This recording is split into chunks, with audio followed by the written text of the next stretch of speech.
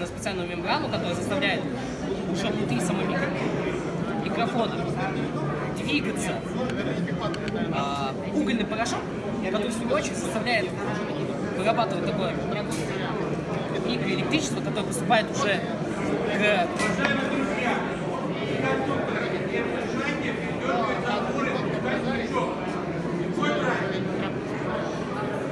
то есть он поступает уже раз к самому телефону, оно как бы заставляет двигаться, там специальный такой стержень, который заставляет двигаться мембрану, и оно как бы воспроизводит саму нашу вещь, что мы говорим через микрофон.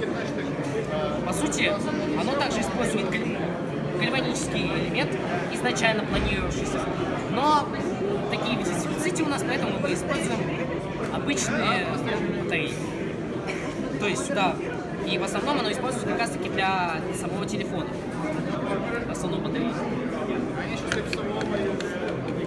Если, если хотите, можем устроить вам все связи, там как раз, если вы с кем-то.